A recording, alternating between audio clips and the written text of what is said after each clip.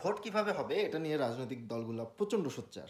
ইভিএমে নাকি আগের মতো ব্যালট বক্সে এখন ভোট বিষয়টা হচ্ছে সাধারণ মানুষের। মানে রাজনৈতিক দলের যারা কর্মী আছেন, যারা প্রার্থী হবেন, তারাও সাধারণ মানুষেরই মানে প্রতিনিধি, তাদেরই একজন। অতএব মানে ভোট কেমন করে হবে এটা যতটা না রাজনৈতিক দলগুলোর জন্য মানে কনসার্ন তার চাইতে বেশি মানে কনসার্ন হচ্ছে আপনার সাধারণ মানুষের। যারা সাধারণ মানুষের না, সাধারণ ভোটারের। মানে ভোটার মানে ভোটারের যে ক্ষমতা মানে একজন ভোটার হওয়া মানে হচ্ছে যে তাকে একটা ক্ষমতা দেওয়া হয়েছে যে নেক্সট ইলেকশনে সরকার গঠনে কারা যাবে সেটা সিলেকশন করার তাদের ক্যাপাসিটি অতএব যারা ভোটার, এখানে তারাই হচ্ছে সবচেয়ে মূল উপজীব্য বা প্রধান সাবজেক্ট যে তারাই নির্ধারণ করবে কেমন করে তারা ভোট দিতে চান এবং তারা কাকে ভোট দিতে চান।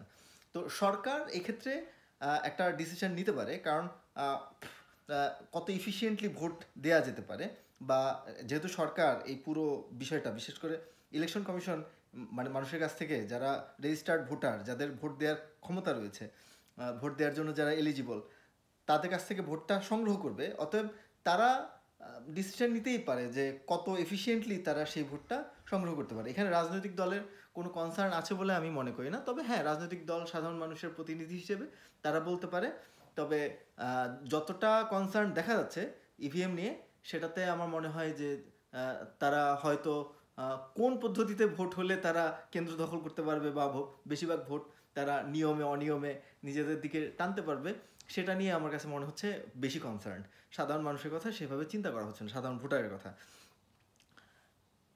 ইভিএম নিয়ে তো অনেক কথা হচ্ছে, যে কি বলে ভোটিং সিস্টেম ডিজিটাল হবে। হ্যাঁ প্রচণ্ড ভালো কথা। কিন্তু ভোটের প্রচারণা, প্রচার প্রচারণা সেটা কেমন করে হবে? সেটা নিয়ে কিন্তু কেউ কিছু বলছে না। আমি যতটুকু জানি মানে যতটুকু দেখেছি যে পৃথিবীর কোনো উন্নত দেশে বা অনুন্নত দেশে, সর্বোচ্চ মানে পঞ্চাশ পার্সেন্ট থেকে সত্তর পার্সেন্টের বেশি মানুষ ভোট দেয় না। তার মধ্যে যদি একটা দেশের জনগণের মানে লোকসংখ্যা যদি এক কোটি হয়, তার মধ্যে হয়তো থার্টি পার্সেন্ট বা ফিফটি পার্সেন্ট বা সেভেন্টি পার্সেন্ট যাই হোক, একশো ভাগ না, কোনোভাবেই একশো ভাগ মানুষ ভোটার নয়। ভোটার শুধুমাত্র একটা নির্দিষ্ট অংশের মানুষ। তার মধ্যে অনেকেই ভোট দিবে না।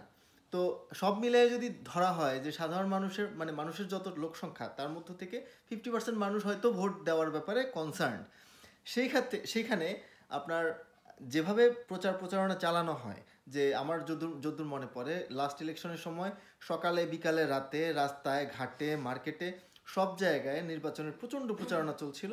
আপনার মানে বড় বড় মাইকে এবং বিভিন্নভাবে প্রচার, প্রচারণা চালানো হচ্ছিল, যেটা অনেক ক্ষেত্রে আমার কাজে ব্যাঘাত ঘটিয়েছে, যারা ছাত্রছাত্রী ছিল তাদের পড়াশোনায় ব্যাঘাত ঘটিয়েছে, অনেক, অনেকভাবে ব্যাঘাত ঘটিয়েছে। যারা, যাদের ইভেন ভোট দেওয়ার ক্যাপাসিটিই নাই, যাদের ভোট দেওয়ার অধিকার নাই তারাও মানে এটাতে মানে তাদের নিত্য নৈমিত্তিক কাজে ব্যাহত হয়েছে তাদের। তো আমার কথা হচ্ছে যে শুধুমাত্র ভোটই ডিজিটাল করা উচিত নয়, প্রচার প্রচারণার মাধ্যমটাও ডিজিটাল করা উচিত। মানে ডিজিটাল না হলেও এমনভাবে করা উচিত যেন যারা ভোটার না, তারা যেন এটাতে বিরক্ত না হয়। তো সেটা করার জন্য যা যা করা দরকার, এটা নিয়ে রাজনৈতিক দল এবং কি বলে, সরকারের এখন বা ইলেকশন কমিশনের এখন থেকে চিন্তা করা উচিত।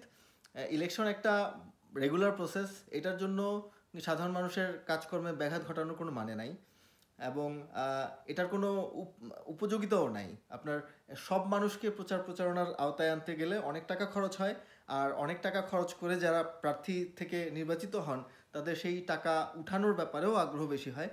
আর এইভাবে মনে করেন যে এরকম হঠাৎ করে উড়ে আসে বসে মানে জুড়ে বসা প্রচণ্ড মাইক কাঁপানো মানে কি বলে গান বাজনা বাজিয়ে যে মানে নেতা হয়ে যাচ্ছেন হঠাৎ করে সেই সেই নেতা আসলে মানুষের ভাষা সহজে বুঝতে পারবে বলে আমার মনে হয় না। তার চেয়ে বরং যারা রেজিস্টার্ড ভোটার, যাদের ভোট দেওয়ার ক্ষমতা আছে, তাদের সাথে প্রার্থীদের সারা বছরের যে সংযোগ বা তাদের আইডিওলজি বা তাদের যে চিন্তা চেতনা বা তারা যে পলিসিগুলো নিয়ে দেশকে বদলে দেওয়ার চেষ্টা করছে বা পরিবর্তন আনতে চাচ্ছে, সেই পরিবর্তনের ব্যাপারগুলো নিয়ে সারা বছরই তারা রেজিস্টার্ড ভোটারদের সাথে কমিউনিকেট করবে, ব্যক্তি পর্যায়ে মানুষের সাথে পরিচিত হবে এবং ধারাবাহিকভাবে ভোটিংয়ের মাধ্যমে তারা নির্বাচিত হবে। এই এইটা নিশ্চিত করার জন্য সব কিছু করা উচিত এবং প্রচার প্রচারণাও এই যুগে সবার কাছেই মোবাইল ফোন আছে। প্রচার প্রচারণাও ডিজিটাল করে ফেলা উচিত এবং এমনভাবে করা উচিত যেন যারা ভোট দিবে না, ভোট দিতে চায় না, দেওয়ার ক্ষমতা নেই, তাদের কাছে যেন কোনো প্রচারণা বা কি বলে আপনার বাড়তি প্রচারণা চালাতে গিয়ে যেন বাড়তি অর্থ খরচ না হয় এবং পরিবেশের বা সমাজের কোনো সমস্যাও না হয়।